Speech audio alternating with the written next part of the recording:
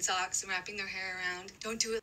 Um, let's test this on my coarse frizzy hair. The idea is that you add a stick to the sock before you start wrapping, and this is supposed to make it easier and give you more consistent curls. I've never been the biggest fan of sock curls. I mean, they're okay, but I feel like there's a lot of other ones that are better.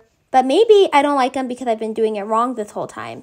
I mean, adding the stick did make it a lot easier to wrap, and I feel like her way of ending it is pretty nifty without needing any hair ties. I had kind of a hard time getting it to work on my longer hair, and I feel like doing it this way kind of disrupts the curls at the front. But hey, I'm always open to trying new things. The second side was a lot faster. I'm a little bit worried about the back, but I guess we'll see in the morning.